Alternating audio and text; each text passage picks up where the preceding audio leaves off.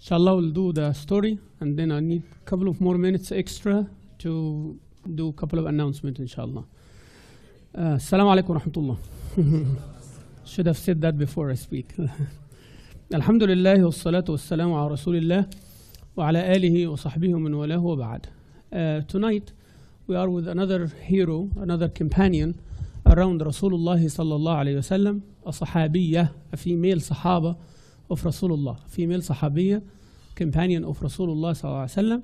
Her name is Umm Hakim. Umm Hakim bint al-Harith. Her name was Umm Hakim. Yani she does not have a name and the kunya is Umm Hakim. Her name is Umm Hakim. بنت الحارث المخزومية. Makhzum uh, is a big family in Quraysh. From Bani Makhzum was Abu Jahl and Walid ibn al-Mughira. The two biggest enemies of Islam who fathered one of, uh, two of the best companions of Islam. Al-Walid ibn Mughira, he is the father of Khalid ibn Walid. And Abu Jahl is the father of Ikrimah ibn Abi Jahl. And both became companions. Khalid became a companion of Rasulullah before Fath Makkah. But Ikrimah after Fath Makkah. Umm Hakim now, the wife of Ikrimah, she married, by the way, three. One of them is Ikrimah. Second one is Khalid ibn Sa'id ibn al-As, who died as a shaheed after one day of marriage only to her. And after he finished the nikah, aqd, then the jihad came, and then she said, You can wait a little bit. He said, Jihad cannot wait. So he goes, he makes the walima, and he goes to jihad and he dies. Shaheed, fi sabilillah. And then Sayyidina Umar ibn al-Khattab married her, and he died as shaheed also. so that Umm Hakim, she married two, three great shaheed. So Umm Hakim bint al-Harith, when Rasulullah entered Mecca, among those who were so hardcore enemies to Rasulullah was Akrim ibn Abi Jahl. He even fought his cousin Khalid ibn Walid yani when he's entering Mecca. But when he found defeat, he ran towards Yemen and he wanted to go in the sea. Yani he wanted to leave all Arabia. And his wife, subhanAllah, to show us the example of a loving wife to her husband who is wrong, but she wants him to be right. But she's not compromising the deen and she never gives up. And because of her, he became a Sahabi of Rasulullah. Allah make her the reason. She come to Rasulullah, said, Ya Rasulullah, I became a Muslim. And Ikrimah ran out afraid of you, but he's a good man. Give him al-aman. Give him amnesty. Because Rasulullah said, whoever sees him, he's done. His blood is khalas. He's out. So she said, just give him that. So Rasulullah said, I give amnesty to Ikrimah. Nobody touches him. For a woman. And that was not known in Jahiliyyah. Like a woman asking for amnesty, uh, her opinion was not counted. But Rasulullah honored her, sallallahu alayhi wasallam. And she ran behind him from Mecca all the way to Yemen. And she caught him on one of the shores over there, taking a boat and already leaving. She called him. She said, I came to you from the most generous people on earth, generous man on earth, Rasulullah Muhammad sallallahu alayhi wasallam. And I, he said, but he already make my blood halal. She said, no. I talked to him. He said, you talked to him? He said, yes. And he said, and he gran- gra- granted your opinion? She said, yes. He did. That's how Muslims are. So he came with her. In the road, there was a servant with her who tried to, he tried to harass her sexually. And she kept, you know, giving him some hope until she reached a village over there. And she shouted, seeking for help. So they tied him up and all of that.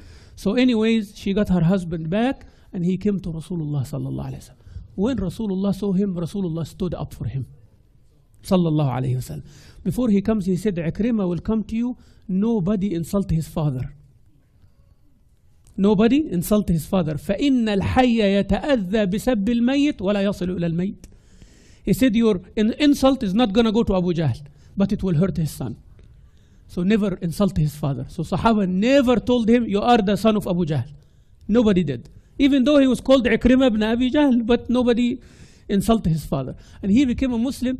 He said, Ya Rasulullah, I become a Muslim, but please ask Allah to forgive everything I did against you and against Islam and anybody I killed.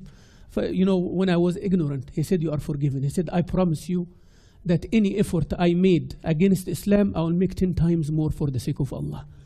And I promise you that every dinar I spend, I will spend 10 times more fi sabilillah. And he died in Al Yarmouk. But all the credit goes to who? his wife, Umm Hakim. When he came that time, he wanted to have a relationship with his wife. She said, No. You are a kafir, I am a Muslim. Until you give shahada to Rasulullah. And when you give shahada, Rasulullah made the previous nikah valid for them. And that is why some people said, oh, because she loved her husband. You know, she loved her husband, yes. But she loved her husband to become a Muslim. And that's the message for all our sisters. You love your spouse, yes, but you love Allah more. When you love Allah more, Allah will give you the love to your spouse more.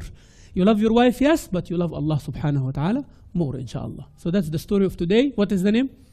Umm Hakim bint al Harith. Umm Hakim, remember that. So now, my time is up for that. Now I have no time limit for this one. uh, there was a clip for this one here, to clip it over here. and that clip is missing today. Okay, so brother ordered that clip, Jazahullah khairan. A brother or sister, I don't know, but I found it on my desk from Amazon, two clips. So one is in the office right now, okay? I'm not going to get it out until we find this one, inshallah. So whoever took it, maybe somebody, I give the benefit of doubt, somebody thought that's an extra piece or something like that, so they took it out of there. but it was there, the whole idea is to clip it so this wire doesn't bother the imam when he's doing. So inshallah, everybody knows, if you find the small clip, please bring it forward.